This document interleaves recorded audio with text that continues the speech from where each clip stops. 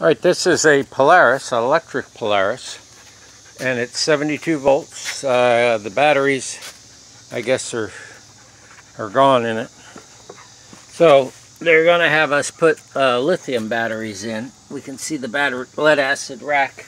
Right now, I got this small pack here, which I've tapped into, to give me 72 volts, so that we can get it running.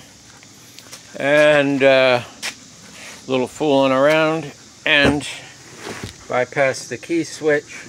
Got a 12 volt battery. This stuff you got to have a 12 volt battery working in there. And make sure all your grounds are good.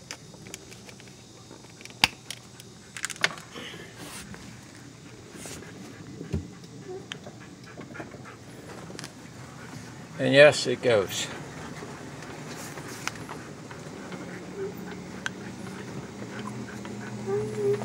This is pretty nice.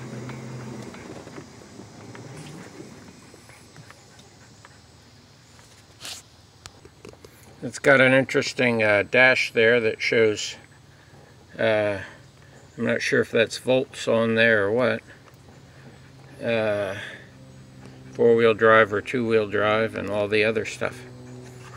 So, are we in forward? No.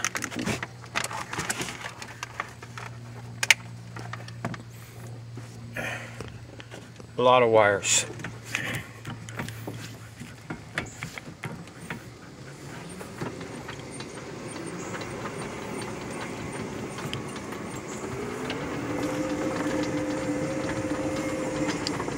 Getting ready for the dump.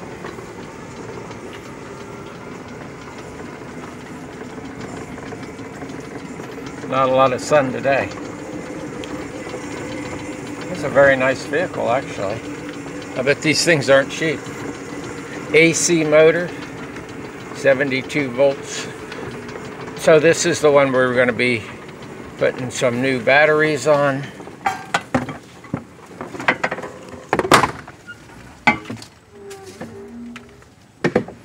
Get my rings out of the way from my days of uh,